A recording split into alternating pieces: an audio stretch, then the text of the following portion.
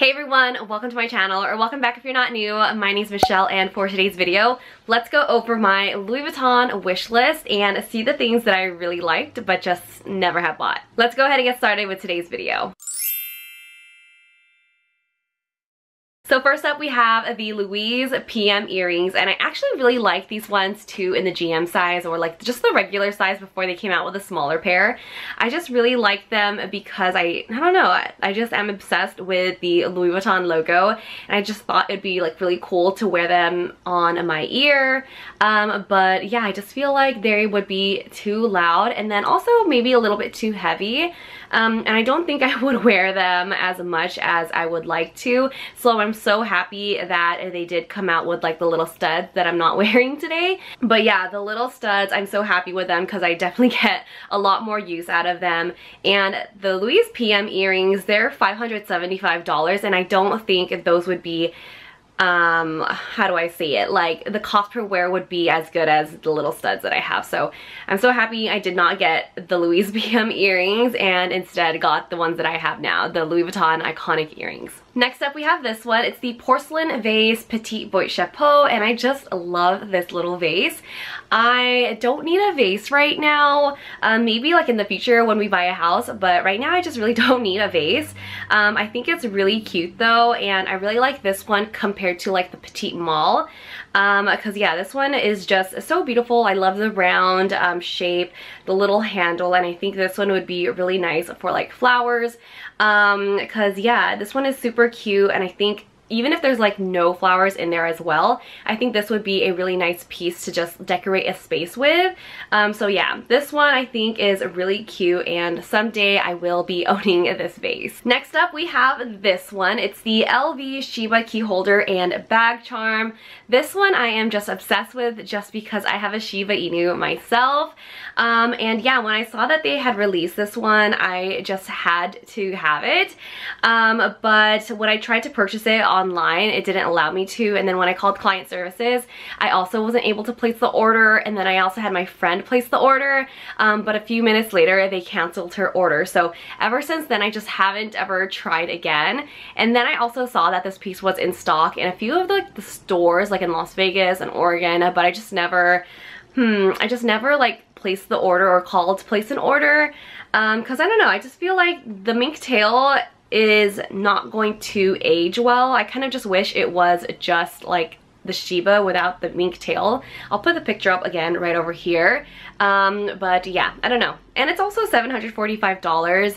I feel like it's just because of the mink tail. That's why it's a little bit more pricey than or compared to like other key charms. I miss the one that they released in 2018, I believe, for Year of the Dog, and I'm so upset that I didn't get that one because it's so cute. Um, I'll put a picture right over here, but yeah, I don't know. Because I missed that one, I just feel like I need to get this one.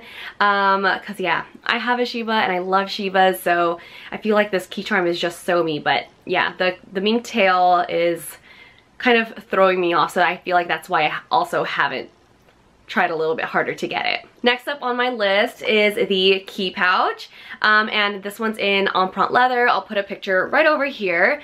I really just was so happy when Louis Vuitton made a key pouch in the black Empreinte leather because that is my second most favorite material from Louis Vuitton aside from like the monogram canvas.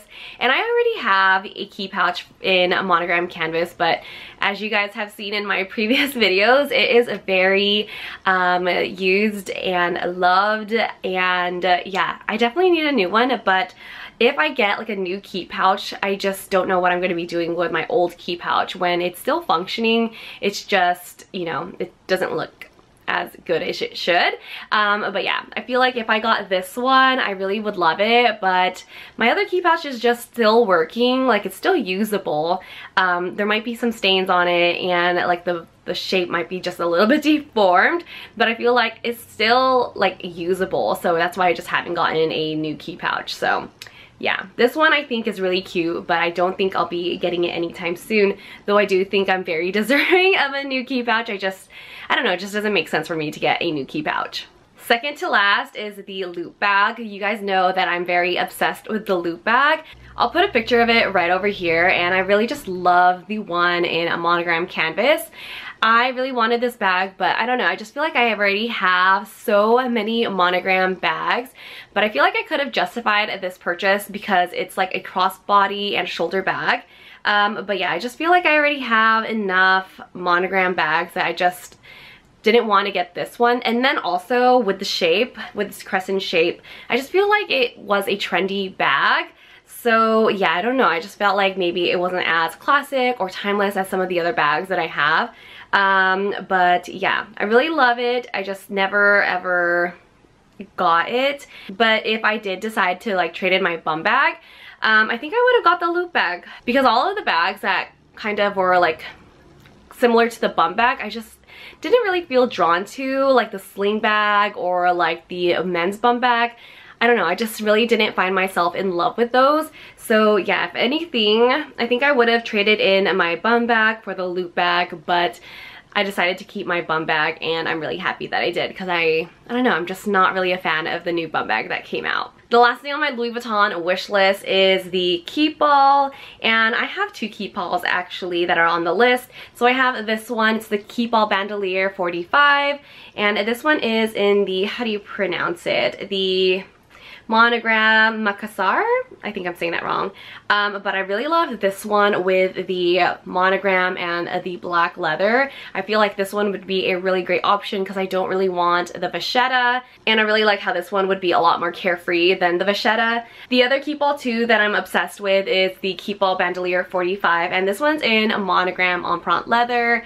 I love this one. I love the orange interior this one also has. Um, but for this one, I just feel like because it's leather, I feel like um, it would be really heavy and I don't feel like that would be very practical just because it is something that you carry like over the shoulder um, or like even in the hand. So I don't know, I just feel like a leather travel bag would not make the most sense just because of the weight. Um, if anything, I feel like the Keepall is something that's worth getting in a canvas just because it is going to be lighter and especially with the Keepall, just keep in mind like how you carry this bag. So it's not something that you're able to like just roll around or you can put it on top of like your um, rolling luggage but um yeah what if you don't have your rolling luggage and you have to carry it on your shoulder or across your body or like in the hand? Um yeah i i don't know if it's a very practical bag but i just really love um how this one in monogram empreinte looks. Because I am such a fan of like black leather and gold hardware so this one is just beautiful and I love the orange interior too. Um but yeah this one's definitely not as practical or even just like having a Louis Vuitton Keepall I don't feel like is the most practical bag. Because um, sometimes I do like to leave my luggages in storage um, with like a hotel in case like I have like a later flight and I have to check out. So sometimes I don't feel like it would be safe to leave luggage stored there. That would be this expensive.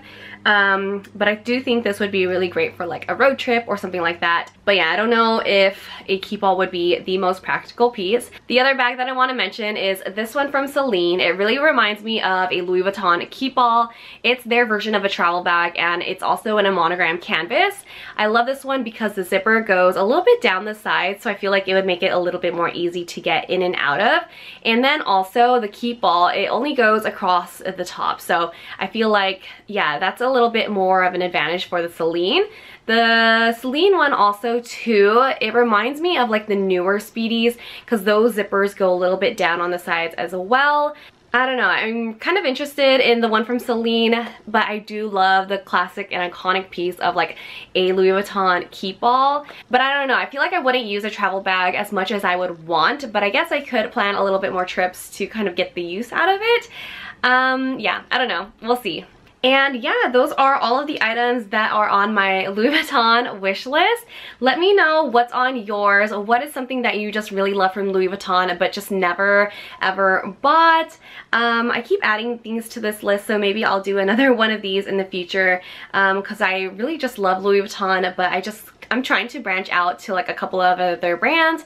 I hope you guys enjoyed this video and I will see you guys in the next one. Bye!